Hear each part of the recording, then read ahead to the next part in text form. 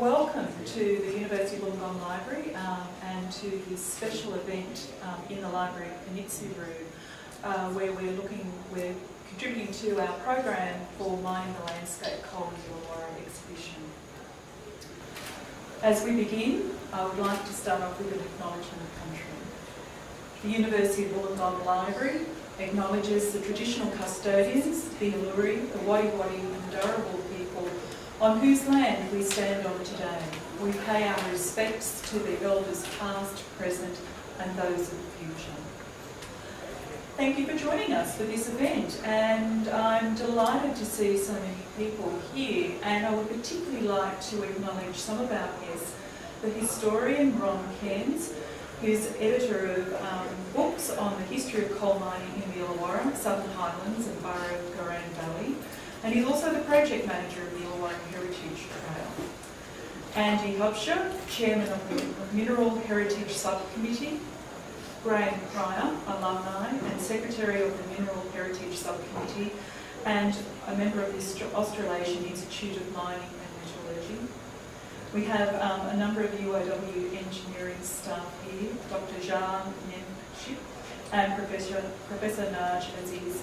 And we also welcome Bob um, of, from the Mineral Heritage Subcommittee. We thank you for joining us for this special presentation, Connections and Recollections, as will be presented by Mr Raymond Tolhurst. Um, this was a really um, special exhibition to pull together and we're delighted that we have many of you in this room who can continue the conversation and actually contribute to the narrative that's been collected here as part of this exhibition. Much of this material has been brought together by our staff and our collections within the University of Wollongong Archives. But also we do pay tribute to the Illawarra Historical Society for their generous um, loan of artefacts and objects to complement the exhibition. It's really important that we make um, our content discoverable, accessible and, and usable and this has been enabled through the digitisation of a number of our collections and, and artefacts and also the bringing together of um, key people who can tell the story much more eloquently than, than I can at this point in time. We have today, can I call you Ray? Yes. Ray? Um, Mr Ray Tolhurst. Ray is known well to, to many of you in this room. Um, you, we know that he's a casual lecturer and an honorary fellow at the University School of Civil Mining and Environmental Engineering. And he holds many family connections to our Illawarra mining industry dating back to the mid-1800s and the commencement of Bulli Mine. Ray has many accolades against his name, but I think the key things I'd like to highlight um, in this introduction for Ray are the awards that he has um, attained during his career, such as the Beryl Jacka National Award offered in 2016 for sustained high-level service to the Australian um, IMM, Outstanding Learning and Teaching Award 2014, um, offered through the Commonwealth Government for employability skills in mining and materials, metallurgy and engineering programs. And I've heard you speak very passionately about work integrated learning and placements in other fora.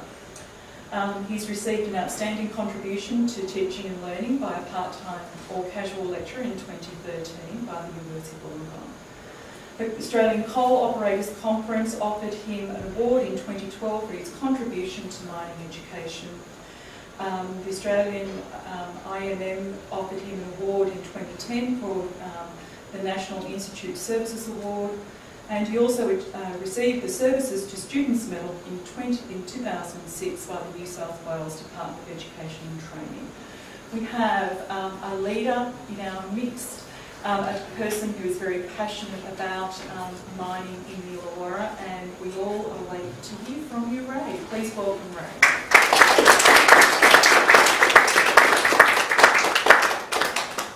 Well, thank you for the very kind introduction.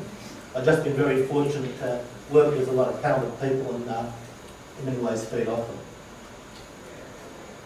Preparing for this talk has been a, a really daunting task. There's just so much Illawarra heritage attached to mining and it's very important but difficult to give the topic justice. My granddaughter actually gave me the best piece of advice. She said, Grandpa, just simply do your best and forget the rest. So here goes. Mining the landscape has got a range of dimensions. There's obviously the, the geographic dimension, there's a community and social dimension, a technical dimension, an industrial dimension, and what you're going to hear as well today, a family dimension. This exhibition that's around the walls and my talk try to blend these dimensions together over time. And there are obviously different perspectives on this story, so I'm presenting it based on my family's anecdotes and my observations. Personally, what these photos around the walls represent is how coal mining has been a key part of the story of Illawarra and my family for over 150 years. So in our case, involving six generations. But it's the story of a fairly typical local coal mining family and how it's been intertwined with the landscape of coal mining and the community. Actually, the story goes back 24 years before mining commenced in, in the Illawarra, when Thomas Chilby, a ticket of leave convict, settled in Bulli in August 1834. He'd been transported to Sydney for stealing sheep. His sentence was actually death, but it was commuted to transportation for life. And as a ticket of leave convict, that meant that if he returned to England, the original sentence of death would have been carried out. So, the first of our six generations involved in coal mining was his son, Thomas Chilby. My great-great-grandfather, also named as Thomas. He started the Bulli mine when it opened in 1859 and coal miners at that time did many jobs because mining was an intermittent industry, only needed when there was a, uh, a ship at the jetty. So he also did carpentry and timber filling. He died in 1908 and his headstone is still intact in St Augustine's uh, Church, Park Road, Bulli. He's buried there near many of his mates, oops, near many of his mates who uh, passed away in the Bulli mine disaster on the 23rd of March 1887, which is depicted on the back wall. Among those killed was Elijah Pocket, my sister-in-law's great-grandfather. So this is a photo of the memorial to those um, uh, 81 miners that died in that disaster. The actual mine explosion was caused by this Davy safety lamp, or one like this. The miners, the only light they had at the face was the light coming from uh, the, the Davy lamp. They didn't have cat lamps, and as the uh, Davy lamp got uh, dusty, they couldn't see because there wasn't very much light coming out, so they would remove the gauze. Once you remove the gauze, you can understand what would happen in a gassy mine when there was any sort of heat. And that's what set off that explosion. Need to remember that this disaster occurred just a few months after the miners had returned to work after a long, prolonged strike. During the strike, the mine owner had thrown the miners' families out of their rented cottages and forced them to live in tents. They were short of money when they returned to work, and they were only paid for the coal that they produced, so unfortunately, safety as if it's been compromised. It's interesting to note the Davy safety lamp is what is used to transport the Olympic flame from continent to continent nowadays. Interesting little sideline. The other story which tells the culture of the time is that when the miners' bodies were brought out to the surface, the mine manager asked the assembled ladies would they go to the local co-op store and buy calico to make shrouds for the bodies. They did this and then the mine owners refused to pay for the calico because they didn't have to. Culture of the time. The other notable community and social thing about the Bulli mine disaster is that within a few months it resulted in two of the longest serving community organisations starting in the district. The Woonona Bulli St John's Ambulance Brigade and the Woonona Salvation Army, both being amongst the first of those organisations started in Australia, and both having an ongoing tradition of working with the coal mining industry and meeting other local community needs. The second generation, uh, the second generation of our family was Fred Chilby and Ephraim Tolhurst. Both of my great grandfathers shown in this photo worked in the coal industry. This photo, as it says, is of the Tolhurst family picnic at Slacky Flat in about 1919. My great grandfathers are standing at opposite ends. Fred Chilby at this end and Ephraim Tolhurst at this end. And why are they standing at opposite ends? Oops. Fred Tolhurst, so Fred Chilby, tall man, local town drunk. Ephraim Tolhurst came to the Illawarra to help establish the Salvation Army. but in the middle are their two wives, my great grandmothers, who were great friends.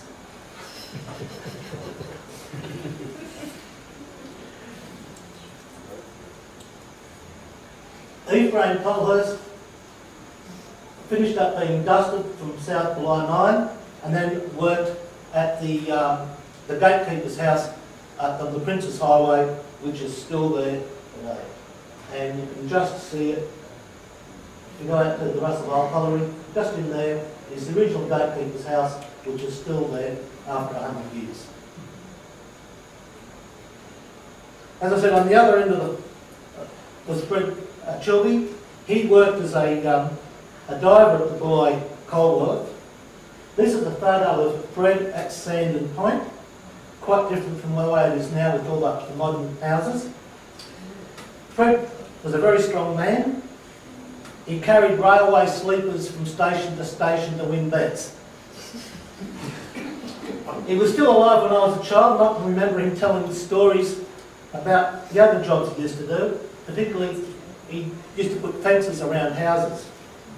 And one of his stories was he claimed that he was the Australian champion fencer. And in fact that he could fence so far in one day it took him two days to walk back. but he used to cheat. Just a little bit. He used to make his, he said he used to make his post holes the night before and carry them with him in a sugar bag and just put the holes wherever he wanted them. Another of his tales was when he was working as a, a diver and things were quiet at the Bulli Coal Wharf, he would hitch up a pair of seahorses and go for a ski through the ocean. now, if you know the size of seahorses, but he had us as kids in fascination. The next slide shows the skip that miners at that time used to fill, and this is uh, from the miners' cottage out at Bulli. The skip held about one tonne of coal, and the target, or dard, for a pair of miners, one cutting coal with a pick, the other loading the coal with a shovel, was about 16 of these skips a day. And that's what they got paid on. Not on hourly wages, they got paid on what they produced.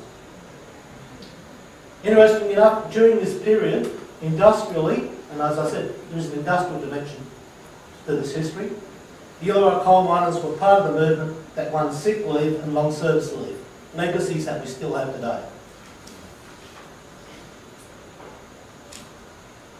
Going just back a minute. At the back of this photograph, holding the young child, is my grandfather, George Tolhurst, a part of the third generation of the family, George Tolhurst and Austin Noble. George was also a coal miner, and as shown in this and the next photo, uh, he, and, along with other Tolhurst family members, were part of the Wollongong or Woonona Town Band and the Woonona, the Woonona soccer team.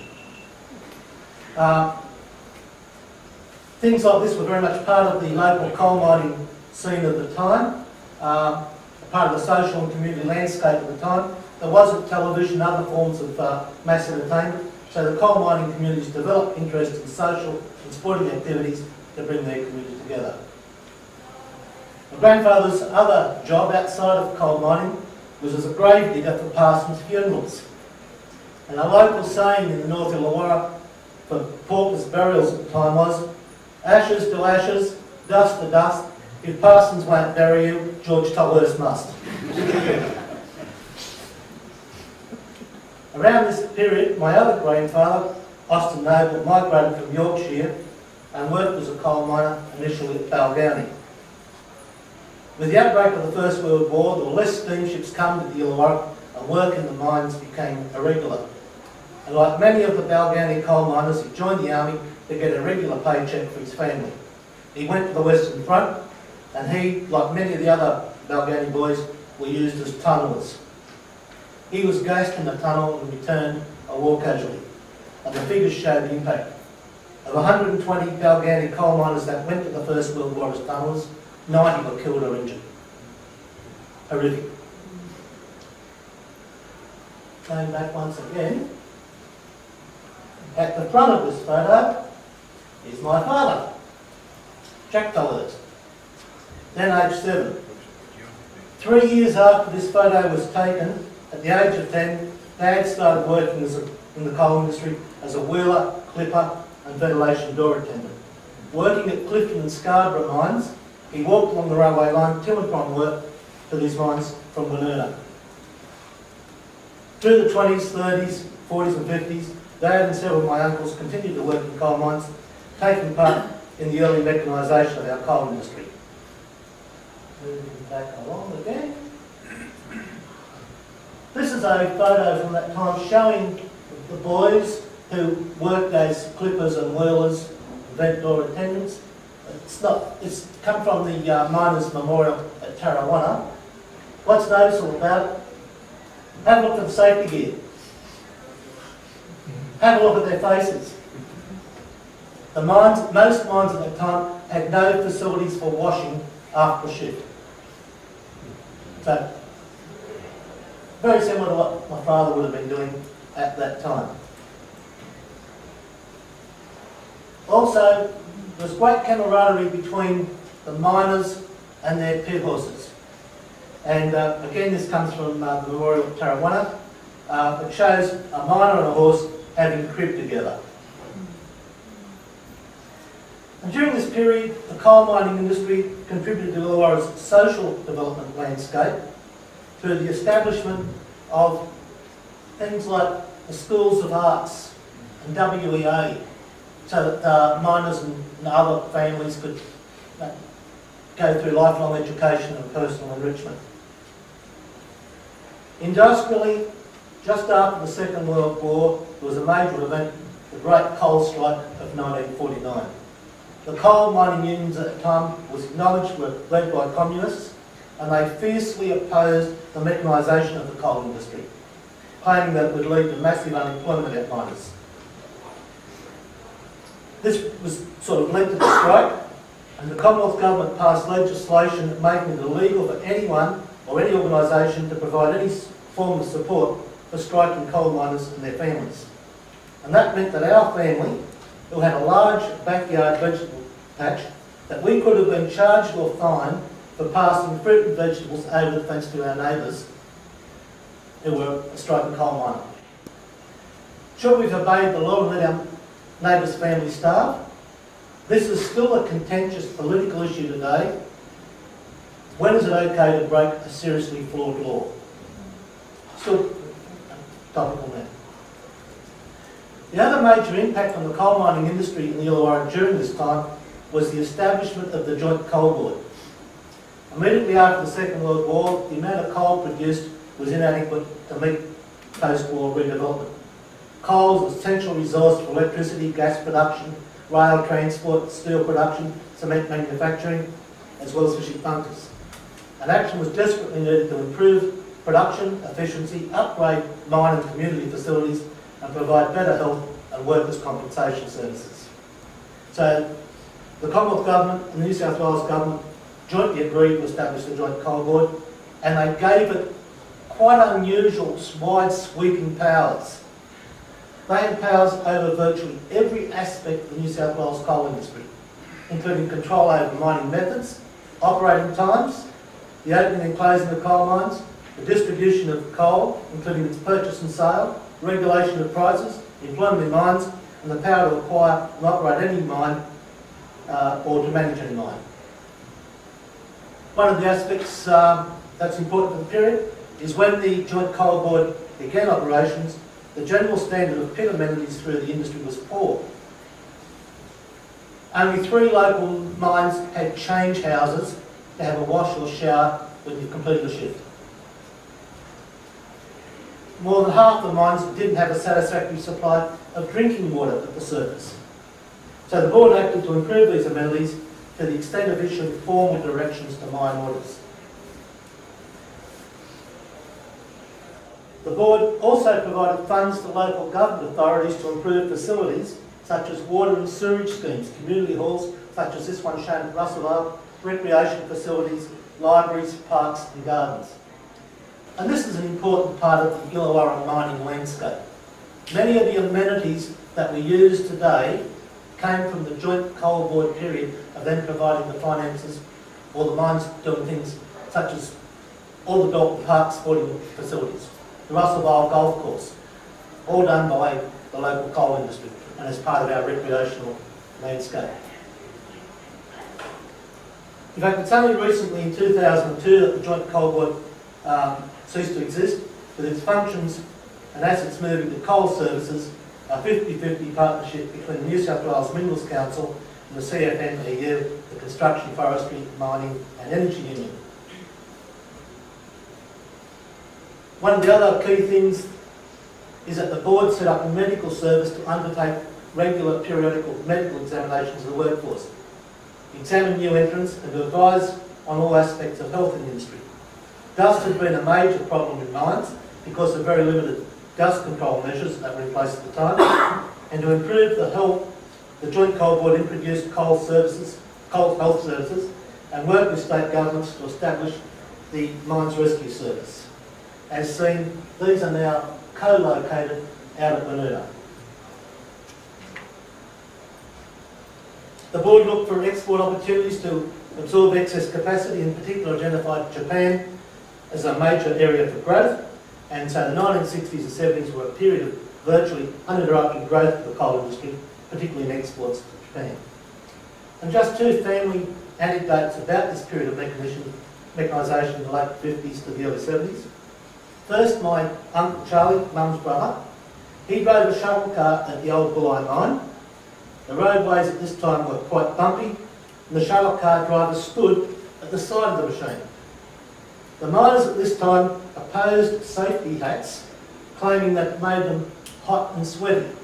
So they invented, well, they didn't invent, but they adapted those from the British tradition.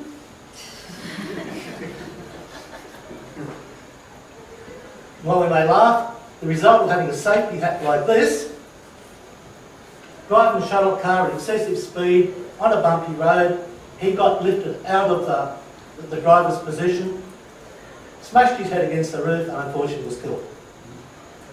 And this was not un unusual for families in the 50s, 60s and 70s to have had a relative killed or seriously injured in a coal mine. The, uh,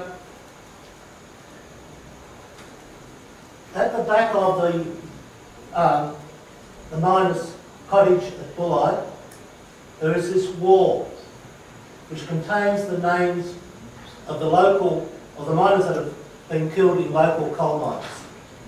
It's a very moving experience to go and read the names on those plaques. I don't know what the actual total is now, Bob, but be well into the 300s, 400s. Something of that order.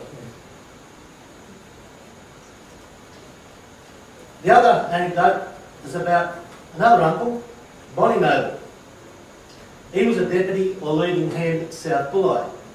When continuous miners were introduced, to slow down productivity, miners would often cut air rather than cut coal.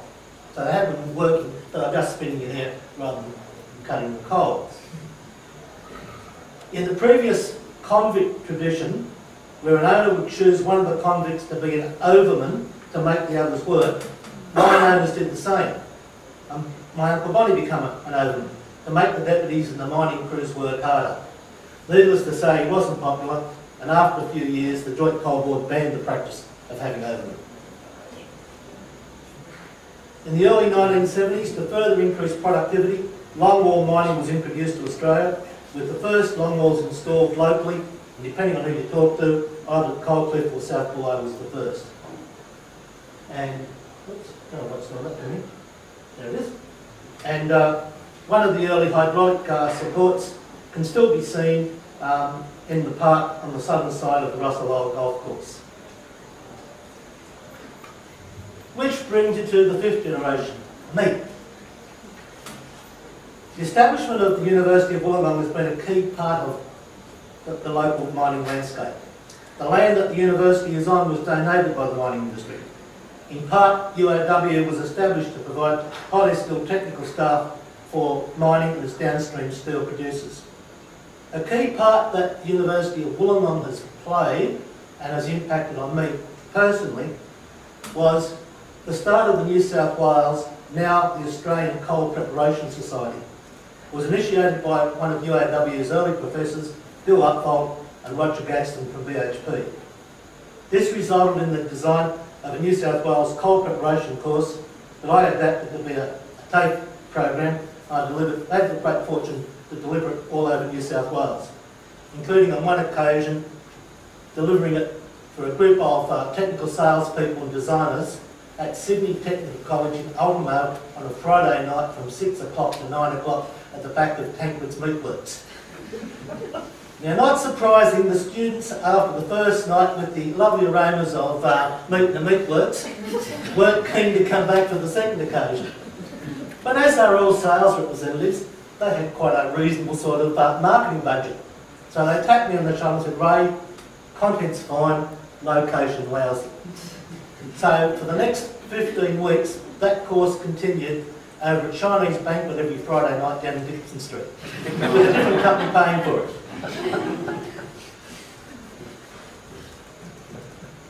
Now, with, with mechanisation, oh, I should say that in running the coal preparation courses on mine sites in washeries, a lot of them are quite noisy, quite dirty. So I had to improvise the teaching equipment. And I still use them. I get teased by my colleagues about my briefcase. But as you can see, it's been around the, been around the world a couple of times. But it's fantastic for taking the mine sites because if you go underground and get put on the, the floor of a personnel carrier, people can put their boots over it and stuff inside is still fine. The other piece of equipment that I found invaluable was my mobile whiteboard.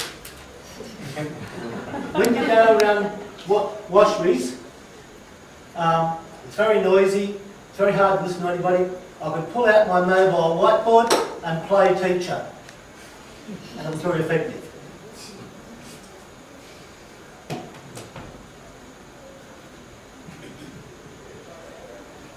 Now, as I said, sort of this period of uh, the 60s, 70s, 80s, huge amount of mechanisation, introduction of longwall mining, and with longwall mining, the shearer blade just takes what's in front of it. Coal, stone, shale, a lot. So, whereas with manual mining, the miners could actually physically see differences in coal and stone and separate some of it underground, can't with mechanised mining. So that this increased the need for coal preparation to be able to produce a quality product. So I've got with me a piece of coal, a piece of stone, apart from the colour, let's see if one of our audience can tell me something significantly different. What's significantly different? The weight. The weight, the density. And that's the basis of most of our coal preparation. The stone is heavier than the coal, so if we make up a suspension of uh, fine uh, material in water, has a density in between the two, the coal will float, the shale will sink, and hence we can separate them. But it's not quite that simple. Not quite that simple. What we're able to develop are washability curves, which enable, provide us with the technology to be able to manage and get the best out of the coal. And it's basically these curves which now drive our local Illawarra coal mining industry. And to explain very briefly how they're used, Who wants to be a coal customer? Who's going to be a coal? Thank you, Naj, putting up your hand. okay, Naj. Okay. Along the bottom is an axis showing the amount of ash or stone or dirt that the product will contain. You pick a figure of how much ash you're prepared to have in your coal. Eight percent? Eight percent. Okay, so, so if Naj gets a coal of eight percent, we would get a yield of eighty-two percent, and the density of separation that we would need is about one point eight. So make up the bar of magnetite, fine magnetite and water, to a density of one point eight, we know that we would get that eighty-two percent yield, and would have eight percent ash, and Naj goes away a happy customer. Yay! But we also know that the the ash in the heaviest piece of coal to float would be just about 44, and that the ash in the stone would be about well, just over 75.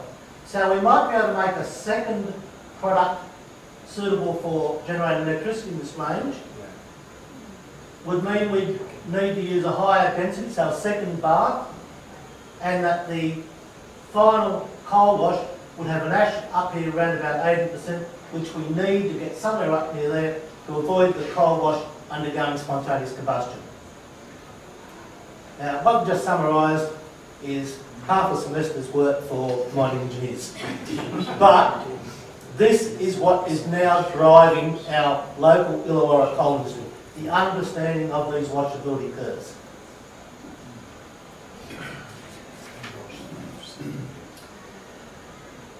Right, the sixth generation, my son Anthony. He was very lucky, very fortunate to complete, complete a mining engineering degree here at Wollongong due to the efforts of people like Naj. He wasn't the best of students. He would have got a he would have got straight distinctions if they gave him out for reading the back of bourbon bottles at Uni Bar, but they didn't. But it's photograph. Yeah. For a short time he did vacation employment at Metropolitan Colliery in Helensburgh. Unfortunately, he risked the potential to become known locally as Little Ray. So he went into metal mining and he's currently the superintendent of project scheduling at BHP's Olympic mine, uh, Olympic Dam mine in South Australia. So I've gone through basic the heritage. It's worthwhile just finishing up for five, a couple of minutes on what's the future. What will the future mining landscape show? What photos will be around these walls in 50 years' time? Many of them are likely to revolve around the coal industry's relationship with the university and the professional body, the AusIMM, the Australasian Institute of Mining and Metallurgy. Also, increasingly, the Illawarra's mining landscape involves industrial minerals and quarrying. We're a major source of building and transport materials for the Sydney market. It's also no accident that UOW's top current departmental ranking in the World QS rankings is for mining engineering. It's something that the university, the local coal industry and the profession can be proud of, but it shouldn't be taken for granted. We've got a ranking that's higher than any mining engineering program in the United Kingdom or China, and is in fact the world's top ranking regional mining program. The world's top regional mining program. The only ones that are higher than us are in either state capitals or national capitals. And what's contributed to this emerging mining landscape based on the interaction with the university? It's things like the annual Australian Coal Operators Conference held in February each year here at UOW. It's the longest standing annual professional conference held in Wollongong each year, a significant con contributor to that other part of the Illawarra's emerging landscape, tourism. It's the Australian Coal Association's research program, ACARP, that UOW is leading, such as equipment automisation, automisation and utilisation, polymer spray wall and roof support that UOW is licensed to BASF, the world's second largest chemical company. It's the development of the world's first standard testing for cable bolts. It's Illawarra AusIMM paying for mining students' mine planning room, equipped with the latest industry software. It's Associate Professor Ernest Baafi, the Chair of the World Council of APCOM, the, for four years, 2015 to 19, the application of computers and operational research in the minerals industry that brings the latest research in software to UOW's teaching programs. Yes, truly, Illawarra's mining landscape and UOW are closely interlinked now and into the future. Thank you.